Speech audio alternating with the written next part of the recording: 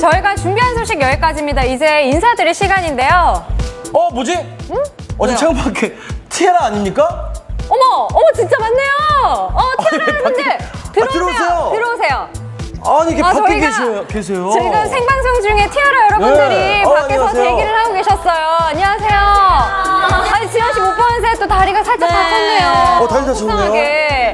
속상하게. 네 이쪽으로 좀 오세요. 생방송 네. 중인데. 아 근데 너무 튀어. 밖에 있는데 의상을 너무 입고 왔어 그러네. 오늘. 아, 그러네요. 자 지난주 새 앨범 소개를 뭐 하고 가, 가셨는데 네. 일주일 만에 어떻게 오신 거예요? 오신 거예요? 아, 저희 앨범 어게인이 오늘 발매가 됐어요. 아. 네, 그래서 자랑하러 쑥스럽지만 나왔습니다. 아, 맞습니다. 아니 지난주에는 앨범 발매 전이라 음. 굉장히 친밀한 사인 주고 가셨잖아요.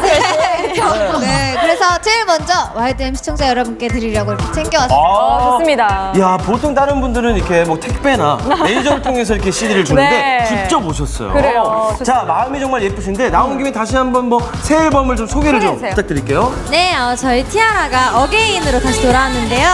네, 타이틀곡 Number Nine과 느낌 아니까 인사드리고 있으니까요. 어, 일- 올 가을을 댄스곡과 medium 템포로 즐겁게 보내주셨으면 좋겠습니다. 아, 좋습니다. 지금 record shop으로 달려가면 그럼 만날 수 있는 거죠, 바로? 네, 네, 맞습니다. 네, 맞습니다. 예, 하지만 M 카운트다운은 꼭 보고 나가세요. 아, 비었습니다. 네. 맞습니다. 저희가 준비한 소식 모두 전해드렸어요. 네. 자 이제 진짜 끝 인사를 할 시간이죠. 맞습니다. 오늘 특별히 티아라 여러분들이 직접 마지막 인사 부탁드릴게요.